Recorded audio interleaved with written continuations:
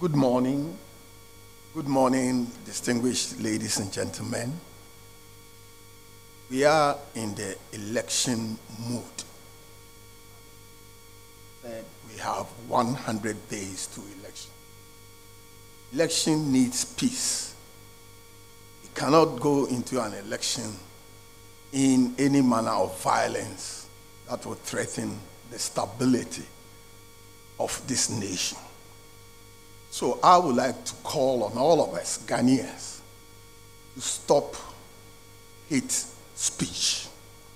Hate speech is dangerous during elections, especially, and it has brought many countries in Africa into wars.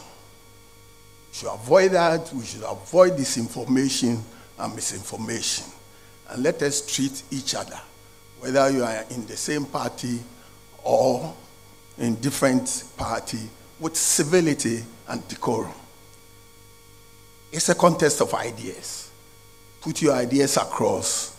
Ultimately, the voter, which is the, the voter who is the heartbeat of any elections, will decide.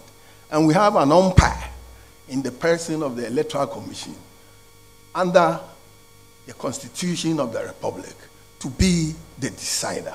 That's all we are going for. Because the peace and stability of this country is critical for the next level of development. I thank you for giving me this opportunity. Thank you very much, Mr. Peter Mac Manu. Thank you.